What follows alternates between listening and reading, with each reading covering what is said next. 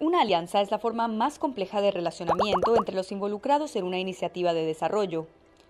Existen buenas prácticas de alianzas en materia climática en la región. Nos enfocaremos en un caso de Costa Rica. Durante el proceso de preparación de su estrategia de reducción de emisiones por deforestación y degradación, Costa Rica generó un plan de consultas con diversos actores, entre ellos las comunidades indígenas. Como parte de este plan, se previeron capacitaciones a quienes serían consultados. Allí surge el Programa Nacional de Mediadores Culturales. Esta iniciativa ha capacitado a miembros de comunidades indígenas que son capaces de integrar componentes culturales de los pueblos originarios con componentes técnicos de cambio climático.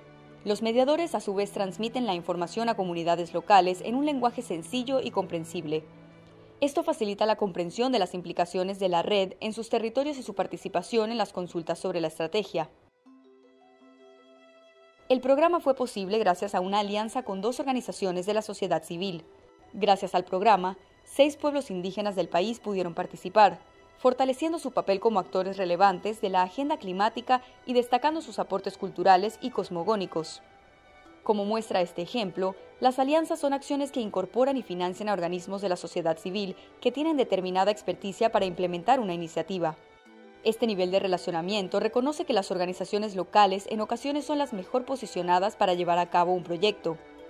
Delegarles funciones contribuye a generar una visión integral de las problemáticas, sumando la visión de quienes conocen el contexto, el tejido social y los recursos de una zona más de cerca. Un requisito indispensable para que se consolide una alianza es que la OSC cuente con mecanismos de transparencia y rendición de cuentas para garantizar los resultados esperados. El programa de mediadores culturales cumple con los criterios de una buena práctica porque su principal propósito es ampliar el alcance de la política climática a más actores. Es liderado por el Fondo Nacional de Financiamiento Forestal y cuenta con financiamiento de cooperación internacional ha permitido que las comunidades indígenas aporten sus insumos a la ENRED, contribuyendo con la definición de medidas de mitigación en bosques.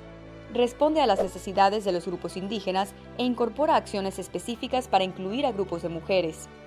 Para profundizar en el tema, descarga Gobiernos y Sociedad Civil avanzando agendas climáticas en WeConnect 3. Entérate y entrénate.